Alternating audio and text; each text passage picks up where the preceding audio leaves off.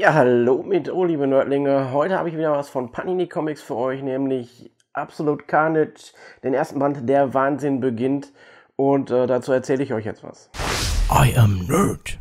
In diesem ersten Band der Reihe ist Eddie Brock mit seinem Sohn auf der Flucht und plötzlich ist Carnage wieder da. Ja, Cletus Cassady, der ja gestorben ist, ist jetzt von den Toten zurück und er ist auf der Suche nach etwas.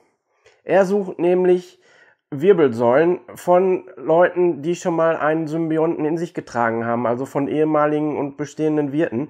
Und denn in diesen Wirbelsäulen befindet sich ein sogenannter Kodex, den er braucht, um den Symbiontengott Null oder Knull, wenn man es deutsch aussprechen möchte, äh, wieder zum Leben zu erwecken. Denn das ist sein Ziel, denn er möchte die Symbiontenherrschaft quasi wiederherstellen oder erstmal so völlig in Gang bringen auf der Erde.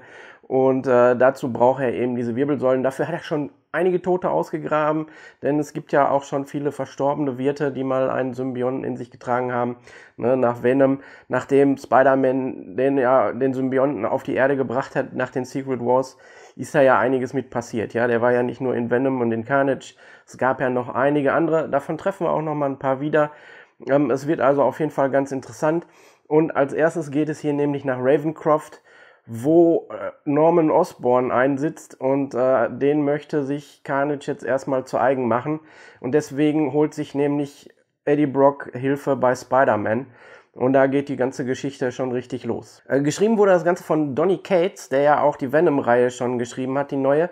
Und äh, der haut da richtig raus. Also hier geht's richtig horrormäßig zur Sache. Also da fliegen die Körperteile ordentlich durch die Gegend, es fließt viel Blut.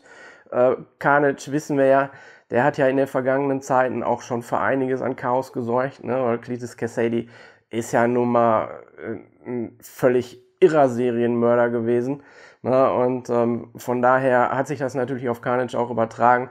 Der ist ja äh, zigmal so schlimm wie so ein Venom, der ja inzwischen eher der äh, tragische Antiheld ist. Aber Davon ist er bei Carnage nichts zu spüren. Der will töten, der möchte Null, also wie gesagt Knull, ähm, wieder zum Leben erwecken.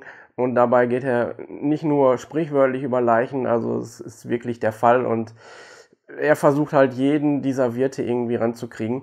Gezeichnet wurde das Ganze von Ryan Stegman, also zumindest der erste Band. Und ähm, äh, echt gutes Ding.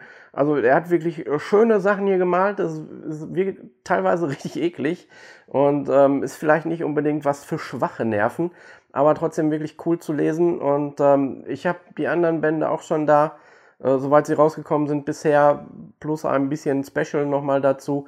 Äh, das werde ich auch in Kürze vorstellen.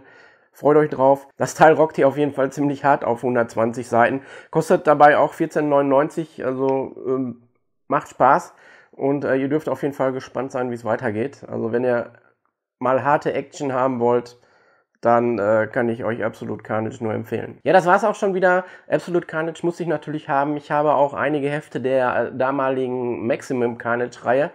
Ähm, ich glaube, da muss ich auch demnächst mal ein Video zu Crossovers und diesem ganzen Gedöns machen, was Eventreihen angeht.